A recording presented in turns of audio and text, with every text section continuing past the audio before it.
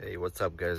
Let me show you guys how to uh, keep mosquito larvae from your rain barrels so you can feed your garden and so you can have not much issues with mosquitoes around your house. So uh, let me show you guys how to do it so I don't know if you guys can see it but there you go. Take care of that. Mosquito larva is no less than yeah goldfish.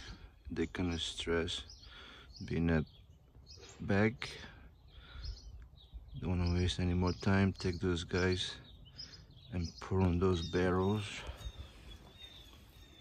they should have plenty of space to swim around. Also they're pretty cheap.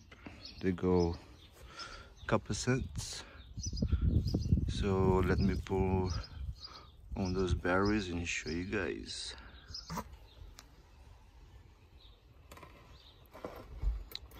Here good luck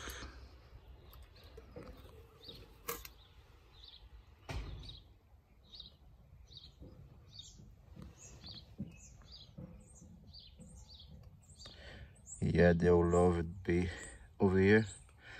They have plenty food. And the best part you don't have to feed. They always have something to munch on.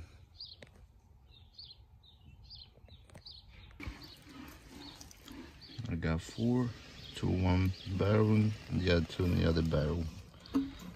See ya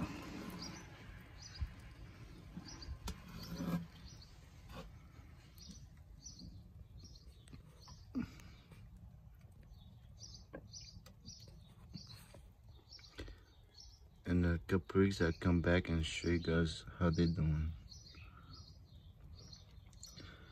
Hope you guys like this tip. Until next time, peace.